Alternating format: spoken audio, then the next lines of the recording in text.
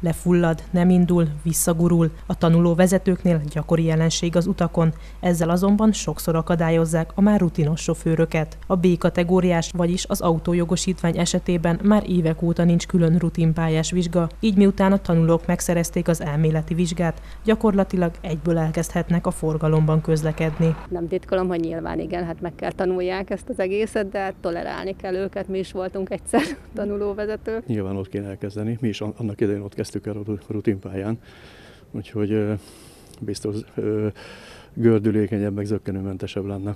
Azoknak, akik most tanulnak autót vezetni, ez már nem újdonság, sokakat viszont meglep ez az információ. A pécsi sofőrök szerint nem szabadna így kiengedni a forgalomba a tanulóvezetőket. Nincs sok értelme, hát nem tudnak, nem tudnak utána parkolni, és az egy ilyen városban szerintem fontos.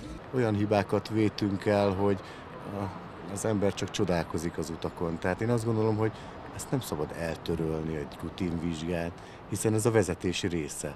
Rácz István, az egyik pécsi autós iskola tulajdonosa szerint ez lehet veszélyforrás, de a forgalom minden résztvevője veszélynek teszi ki magát. Kiemelte, mivel az oktató oldalán is vannak pedálok, kontroll alatt tudja tartani a tanulókat. Nem igazán szeretnek bennünket a régebbi vezetői engedélyen rendelkezők emiatt, hogy sokszor ott úgy gondolják, hogy, hogy szükségtelenül húzzuk az ő idejüket, meg raboljuk a parkolóhelyet.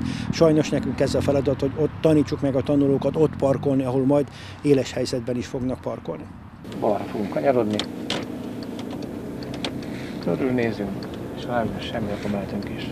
Guld Csaba, a Tolnai Turbo autós iskola vezetője azt mondja, amióta nem kell a tanulóvezetőknek a rutinpályán vizsgázni, az oktatók először csak kevésbé forgalmas utakra tudják őket kivinni, hiszen még nincs elég tapasztalatuk. Nem lehet bevinni a, a tanulót a mélyvízbe, tehát előtte olyan forgalmúton, tehát kis forgalmúton próbálkozzák, az el, próbálják elkezdeni a gyakorlati oktatást, illetve van még most is lehetőség, hogy tampályán gyakoroljunk, de tampályás vizsga effektíve nincsen. Korábban kötelezően 9 órát töltöttek a tanulók a rutinpályán, Manapság azonban az oktatók dönthetik el, hogy mikor engedik éles helyzetbe vezetni őket.